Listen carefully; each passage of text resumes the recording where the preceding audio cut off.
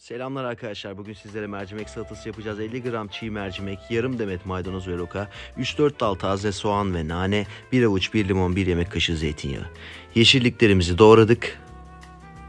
Hazır vaziyette bekliyorlar. Soğanlarımızı ne soğanı ya? Havuçlarımızı rendeledik. Üzerine haşlanmış yeşil mercimeklerimizi koyuyoruz. Sonrasında limonumuzu ekledik. Tuz ve kırmızı pul biber ekliyoruz. Bir yemek kaşığı zeytinyağı koyacağız. Şu güzelliğe bakın. Ve salatamız hazır.